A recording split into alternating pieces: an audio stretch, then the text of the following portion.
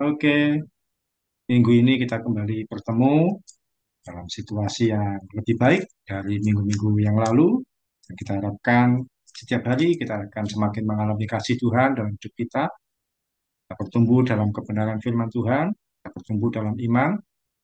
Masuk pada setiap minggu kita terus belajar firman Tuhan supaya iman kita dikuatkan, wawasan kita bertambah dan kehidupan kita makin berkenan di hadapan Tuhan dan di hadapan manusia. Oke, kita awali dengan berdoa. Mari kita bersatu hati dalam doa. Tuhan Yesus, terima kasih pada minggu siang hari ini Tuhan, kami anak-anakmu siap untuk belajar firman-Mu melalui komsel yang sederhana dengan fasilitas Zoom ini Tuhan. Apa pun terjadi melalui sarana apa pun, kiranya kami boleh bertumbuh dalam kebenaran firman.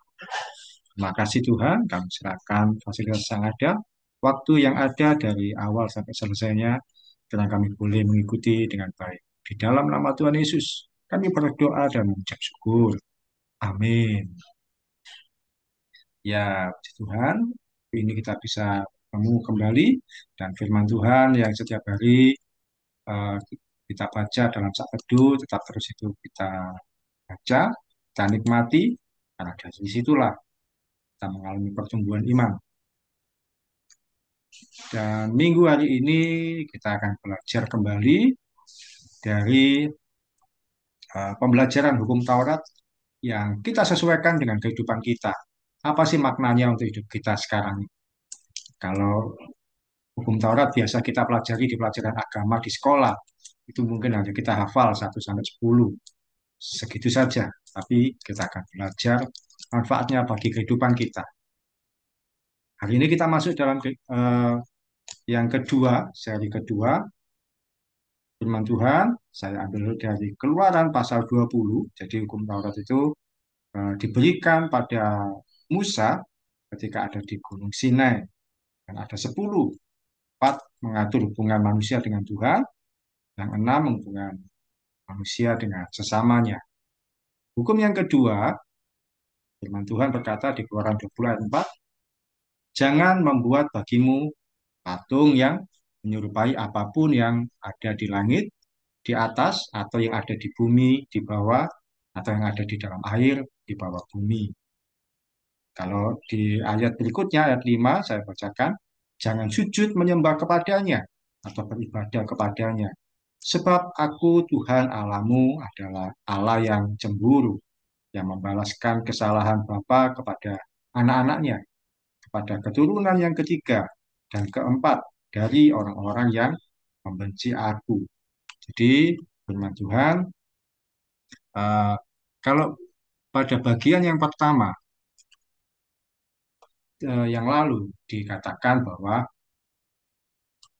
jangan ada padamu Allah lain di hadapan. Tapi di hukum Taurat yang kedua mengatur lebih spesifik daripada hukum yang pertama. Hukum pertama hanya jangan ada padamu Allah lain di hadapan. Hukum kedua lebih spesifik dan terarah. Pada hukum kedua dituliskan jangan membuat patung dan jangan menyembah kepada. Kalau hukum pertama masih uh, secara umum jangan ada Allah lain. Tapi yang kedua jangan membuat patung. Lalu bagaimana kalau ada patung-patung yang ada di sekitar kita? Dan banyak orang penjual patung Ya, orang di jalanan pun juga ada banyak patung pahlawan dan sebagainya. Uh, di Surabaya ini patung pahlaw pahlawan banyak dibuat patung. Jakarta juga banyak. Mungkin di daerah kalian juga menemukan patung tertentu melambangkan figur-figur tertentu. Bagaimana kalau orang yang membuat patung? Bukan berarti sebenarnya tidak boleh membuat patung untuk hiasan atau karya seni atau dijual. Namun firman Tuhan mengatakan tidak boleh membuat patung untuk disembah. Kata patung biasanya di Alkitab bisa makan dengan kata berhala. Kata berhala artinya apa? Sesuatu di luar Tuhan. Bangsa Israel diajarkan untuk tidak menyembah berhala atau sesuatu selain Tuhan. Karena waktu itu mereka cenderung mencari sosok yang bisa disembah kelihatan, yang kelihatan secara mata. Karena mereka membuat patung yang emas atau ikuti Eh, patung-patung berhala yang dibuat bangsa-bangsa lain. Padahal Allah mereka atau Allah kita adalah Allah yang tidak kelihatan. Dan wujudnya adalah roh. Hal itu yang tidak disukai oleh Tuhan. Karena menggantikan Tuhan dengan patung. Lalu bagaimana kondisi apa situasi hukum Taurat yang kedua ini bagi hidup kita?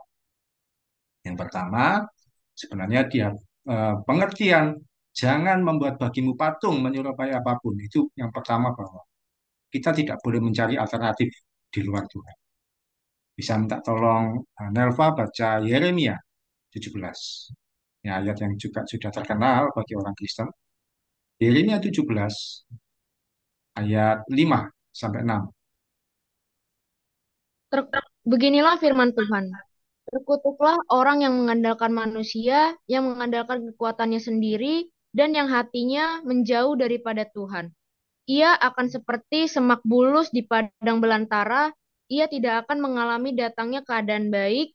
Ia akan tinggal di tanah angus, di padang gurun, di negeri padang asin yang tidak berpenduduk. Ya, kadang-kadang dalam hidup kita ini dihadapkan pada situasi yang membuat kita mengandalkan orang lain secara mungkin tidak bukan tidak sengaja, tapi karena situasi mepet, terdesak, kita akhirnya mengandalkan orang lain.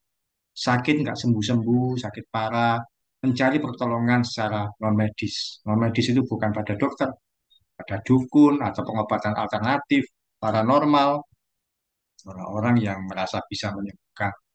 Dan kita karena putus asanya, kita datang ke orang lain, ke figur lain, alternatif di luar Tuhan.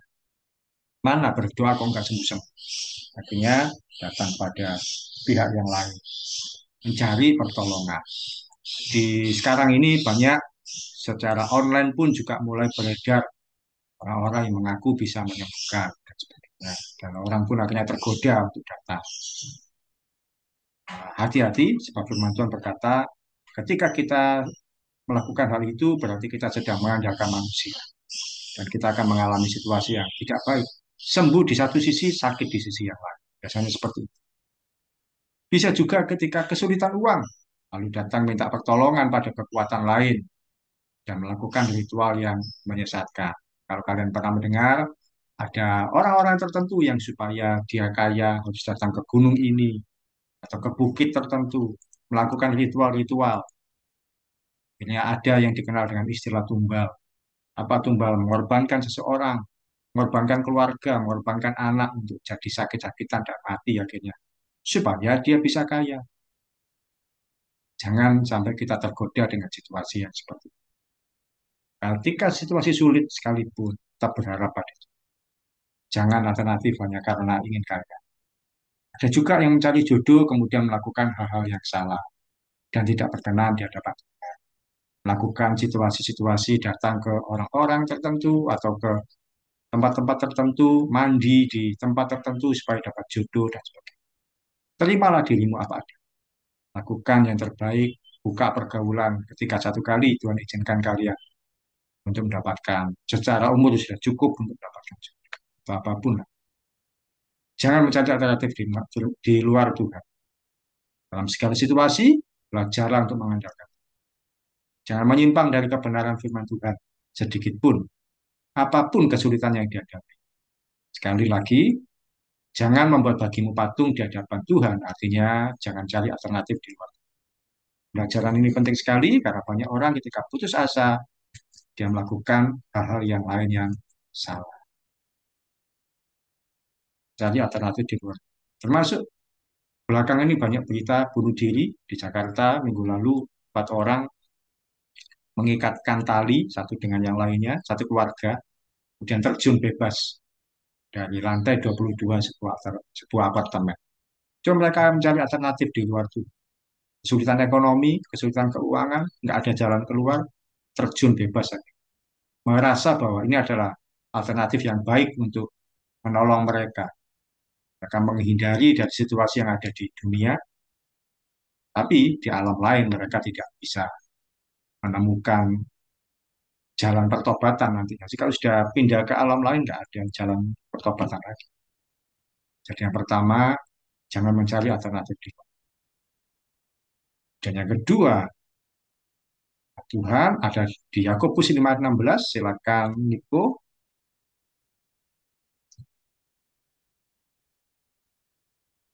Yakobus 5 ayat 16. Ayat 12. Karena itu hendaklah kamu saling mengaku dosamu dan saling mendoakan supaya kamu sembuh. Do- Doa orang yang benar bila didoakan sangat besar kuasanya. Iya, sering kali orang-orang itu menganggap, banyak orang menganggap bahwa masalahnya itu besar. Mungkin kalian juga merasa demikian, atau mungkin menemui orang tua, atau ya, atau siapa pun yang lain merasa bahwa masalahku itu besar, sulit, nggak ada solusinya, nggak ada jalan keluarnya. Kalau kita berkata bahwa masalahku besar, masalahku terlalu sulit untuk diselesaikan, masalahku tidak ada jalan keluarnya, itu sama saja kita menyembah masalah itu.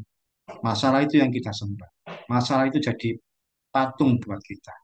Ingat bahwa Tuhan lebih besar dari masalah kita. Jangan membesarkan masalah kita melebihi Tuhan. Berkata, hidupku kok menderita, mengapa hidupku seperti ini? Masalahku besar, susah untuk diselesaikan. Firman Tuhan mengatakan yang dibaca oleh Niko tadi bahwa di bagian yang bawah, doa orang yang benar bila dengannya yakin didoakan itu bukan besar kuasanya, bukan lebih besar kuasanya, tapi sangat besar kuasanya. Artinya ketika kita berdoa dengan yakin, setiap masalah dan pergumulan hidup kita, Tuhan sanggup menyelesaikan. Melalui doa kita bisa menga- mengalahkan masalah dan pergumulan kita. Jangan pernah takut menghadapi situasi hidup ini. Tuhan Yesus tidak akan membiarkan kita sendiri. Dia selalu bersama dengan kita dalam setiap langkah hidup kita. Uh, jangan pernah kehilangan semangat. Tuhan selalu menolong setiap langkah kita, apa pun kesulitan yang dihadapi. Jadi yang kedua, Tuhan itu lebih besar dari masalah kita. Bawa dalam doa apa pun. Jangan menganggap masalah kita itu lebih besar, karena dengan demikian kita menganggap masalah itu adalah sesuatu yang kita sembah. Tuhan Yesus yang harus kita sembah. Yang pertama, pengertiannya jangan cari alternatif di luar Tuhan. Yang kedua, Tuhan itu lebih besar dari masalah. Yang ketiga, yang terakhir, kita tolong Leva lagi. 1 Yohanes 5 ayat 21. Anak-anakku, waspadalah terhadap segala berhala. Iya, menarik sekali kata berhala itu di dalam bahasa Inggris digunakan kata idol. Kita tentu belakangan ini sering mendengar kata idol atau idol. Diterjemahkan di dalam bahasa Indonesia menjadi idola. Bahkan ada uh, kontes yang bernama Indonesia Idol. Ternyata idol itu adalah berhala.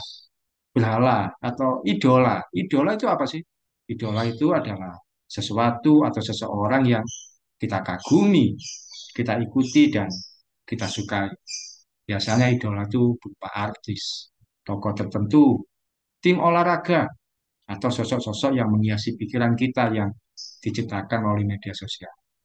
Biasanya anak-anak muda mengidolakan artis, baik artis Indonesia, artis luar negeri, atau orang-orang tertentu mengidolakan tokoh tertentu, pejabat, tokoh politik, dan sebagainya. Atau tim olahraga. Saya sering mengetahui di YouTube juga ada orang-orang yang mengidolakan tim MU misalkan. Uh, sampai beli atributnya sekian juta hanya untuk beli kaosnya. Bahkan kaos bekas dipakai pemainnya masih berkeringat dibeli sekian puluh juta. Atau mungkin sosok-sosok yang diciptakan dari game dan sebagainya kemudian jadi idola. Seringkali seseorang mengidolakan sesuatu, biasanya anak-anak muda, tapi juga tidak tidak sering orang-orang tua pun juga ditemui mengidolakan sesuatu hingga menghabiskan uang sekian banyak, waktu sekian lama, dan perhatian yang cukup serius untuk menikmati tayangan, mendengarkan lagunya, dan mengikuti beritanya. Bahkan tidak jarang keluar uang untuk membeli koleksi dan berbagai atribut mengenai sosok tersebut. Jadi ber, uh, kata idol itu bahasa di bahasa Indonesia sebenarnya artinya adalah berhala. Ya, kita ada kata berhala itu dalam bahasa Inggris idol. Jangan menyukai sesuatu secara berlebihan. yang membuat kita jauh dari Tuhan. Boleh kita punya tokoh yang kita kagumi, tapi ya ikuti teladannya saja. Seringkali anak-anak Tuhan lebih suka lihat sepak bola dua jam, lebih asik daripada baca firman Tuhan. Baca firman Tuhan merasa, waduh, jenuh. Lebih suka nonton konser dengan bayar mahal daripada datang ke gereja. Lebih sering membeli koleksi daripada uang untuk persembahan. Hati-hati, doakan sesuatu, kagumi seseorang boleh ikuti teladan suksesnya saja. Bagaimana atlet ini bisa sukses, bagaimana atlet eh, artis yang ini dia bisa mencapai popularitas. Kita ikuti. Biasanya orang-orang yang sukses itu mengalami eh, dari bawah situasinya tidak menyenangkan, direndahkan, diremehkan, tapi bagaimana dia bisa bertahan. Tapi jangan masuk terlalu dalam pada kehidupannya. Jangan ikuti gaya hidupnya yang salah. Mungkin artis tertentu dia sudah sukses, kemudian gaya hidupnya terlalu liar, terlalu bebas, jangan di hindari prinsip hidupnya yang tidak sesuai dengan firman Tuhan dan jangan menggunakan kata-katanya yang keliru. Eh, kalau tidak salah setahu saya di Korea Selatan yang sekarang banyak dikagumi, diikuti anak-anak muda, itu mereka punya prinsip forever young. Pernah mendengar kata forever young? Elva pernah mendengar kata forever young? Eh, kurang sih Pak, kurang pernah Nggak, dengar. nggak mengikuti ini perkembangan artis Korea, Enggak, aku bukan K-pop. bukan K-pop. Iya, ini sekedar eh, kalau begitu sekedar tahu bahwa mereka punya prinsip namanya forever young. Forever young itu apa? Mereka tidak mau tua, menolak tua. Jadi ketika usia sudah masuk hampir 30, 25 ke atas mendekati 30, mereka sudah merasa takut nanti jadi tua, tidak muda lagi, hilang ketampanannya, hilang kecantikannya. Karena itu tidak heran banyak artis-artis Korea Selatan, artis Korea yang disukai anak muda itu akhirnya mati bunuh diri di usia yang muda. Karena mereka tidak mau tua. Tetap kalau bunuh diri kan mati usia muda. Jadi tetap muda selamanya. Banyak yang menjatuhkan diri, minum obat berlebihan atau mengiris tubuhnya dengan pisau, apa pun dilakukan, mereka bunuh diri. Akhirnya forever young. Saya sering mendengar berita itu. Saya juga sering pernah jadi penyiar radio. Jadi banyak sumber-sumber berita mengatakan demikian artis yang ini, itu yang terkenal ini ternyata mati, ternyata mati dan sebagainya. Karena forever young. Boleh ikuti kisah hidupnya yang baik, teladani suksesnya, tapi jangan mengikuti gaya hidupnya yang salah. Gaya hidup yang bebas, gaya hidup yang liar, dan jangan membenarkan kata-katanya yang Bagaimana seharusnya jadikan Tuhan Yesus sebagai sosok yang terutama untuk kita kagumi, kita hormati, dan kita teladani. Tuhan Yesus tidak pernah berbuat dosa. Tuhan Yesus memberikan teladan yang baik atas hidup. Oke, untuk terakhir sharing kita adalah apakah kalian pernah memiliki atau mungkin masih atau mengagumi, mengidolakan orang-orang tertentu. Siapa dia dan mengapa kamu menyukai sosok ini? Jadi tidak ada masalah. Setiap orang kita pasti punya atau bisa mengagumi orang-orang tertentu dalam kehidupan kita semua secara pribadi. Saya sharing dari saya dulu bahwa saya juga pernah mengalami situasi saya itu mencintai, menyukai, mengagumi, mengidolakan secara berlebihan. Saya pernah menyukai eh, sebuah grup musik, grup musik lama, grup musik jadul, grup musik tahun 70-an, dan mama kalian pernah mendengar nama itu. Itu sebuah grup band namanya Gus Plus. Lagunya banyak dikenal di Indonesia. Dan saya pernah jadi ketua komunitas penggemar. Setiap minggu saya tidak ke gereja, saya mengikuti eh, event-event pertemuan komunitas. Saya keluarkan banyak uang untuk membeli dokumentasi, koleksi, kaset, CD, dan sebagainya. Dan apa pun, saya ikuti perkembangan grup ini. Tapi akhirnya saya kehilangan Tuhan. Saya tidak lagi datang pada Tuhan. Saya pokoknya meninggalkan persekutuan saya dengan Tuhan selama lima tahun lebih, enam tahun lah. saya menggemari grup ini secara berlebihan sampai saya kehilangan kehidupan saya dengan dan sampai akhirnya saya bertobat lagi 2015 sampai sekarang. Sekarang pun ya mungkin hanya sekedar dengar tapi tidak terlalu berlebihan seperti waktu yang lalu. Waktu yang lalu saya ke mana-mana demi grup ini saya datang berbagai kota. Rata-rata itu salah di hadapan. Bagi saya, saya merasa yang saya kerjakan itu salah karena saya jauh dan di- itu bisa saya sampaikan karena saya kalau mengagumi sesuatu saya bisa-bisa memberikan yang terbaik. Tapi ternyata itu pada situasi yang salah. Oke, sudah ada gambaran? Mungkin silakan Nelva, apakah kamu punya sesuatu sosok yang kamu idolakan, kamu kagumi, kamu sukai, dan mengapa? Silakan. Eh, kalau saya Konelva tuh ini Pak apa nggak pernah dari dulu tuh nggak pernah yang namanya punya idola beneran satu idola yang benar-benar Nelva beneran idolain sampai ngelakuin semua hal pokoknya itu eh paling kayak kagum sama satu apa satu artis contohnya. Itu tuh kayak Maudy Ayunda contohnya. Itu tuh kagumnya kayak wah ini eh, wanita cerdas wanita karir pengen bisa pe- apa pengen bisa nih kayak dia gitu. Tapi ya gitu nggak nggak ngelakuin yang kayak gila apa ngelakuin banget kayak apa ya ngelakuin segala hal gitu buat bisa kayak dia soalnya emang nggak nggak punya idola pak sebenarnya Ya, tidak apa-apa. Oke, Ya, boleh mengagumi seperti itu, karena di situ kadang-kadang membuat kita termotivasi. Oh, kehidupan dia lebih baik, bagaimana saya bisa mencapai seperti dia. Ya, ambil sisi yang baik saja. Niko, ada sosok yang diidolakan, dikagumi, disukai? Eh, sama kayak Sinar Pak Eh, cuman apa cuma kagum doang nggak ngidolain bener-bener banget sampai ngikutin pakai Ah, baju ke mana-mana gitu.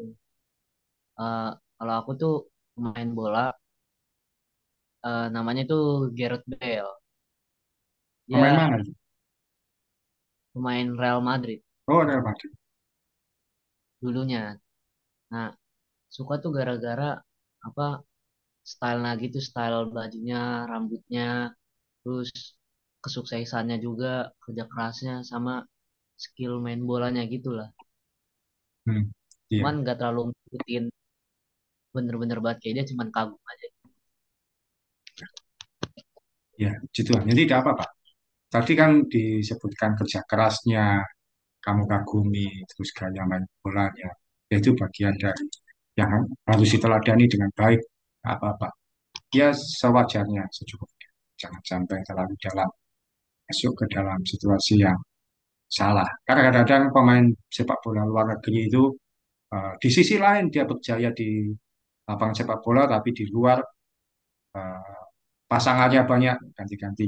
Seperti Ronaldo itu kan hidup tanpa pernikahan, sudah bosan ganti lagi. Oke, itu yang menjadi pembelajaran kita hari ini bahwa tetap kita fokus kepada bahwa di atas segalanya Tuhan lah. Sedangkan ini Tuhan di dalam nama Tuhan Yesus Kristus dan jangan membesarkan masalah kita dan yang pasti bahwa jangan datang kepada figur yang lain itu jadikan kata hati. Tuhanlah yang utama. Eh, yang minggu lalu yang berdoa Niko ya. Sekarang Nelva satu jam dalam doa. Silakan. Bapak yang baik terima kasih untuk kesempatan hingga siang hari ini Engkau yang masih menyertai melindungi kami Tuhan Tuhan terima kasih untuk firman-Mu yang telah hambamu Paul Kri sampaikan Tuhan tentang yang mengajarkan kami bahwa kami untuk selalu bisa mengandalkan Engkau dalam situasi apa pun Tuhan untuk kami selalu berdoa hanya kepadamu Tuhan dan tidak dengan yang lain Tuhan Tuhan ajarlah kami untuk selalu setia kepadamu, memuji dan memuliakan namamu saja Tuhan. Ya Bapa, terima kasih juga untuk hambamu Pak Oki yang telah menyampaikan firman. Tuhan, Engkau yang memberkati usaha pekerjaan yang Pak Oki kerjakan Tuhan. Biarlah Engkau yang selalu juga menyertai dalam setiap langkah-langkahnya Tuhan. Tuhan Yesus, kami serahkan juga untuk segala kegiatan kami di satu minggu ke depan Tuhan. Untuk apa pun yang kami kerjakan, Engkau yang selalu buatnya membuat berhasil dan apa pun yang ke mana pun kaki kami melangkah, Engkau yang selalu menyertai Tuhan. Terima kasih Tuhan untuk semuanya. Amin. Amin. Terima kasih Nico Nerva. Semangat. Meskipun liburan, jangan lupa belajar. Dan kasih. memberkati. Terima kasih Pak.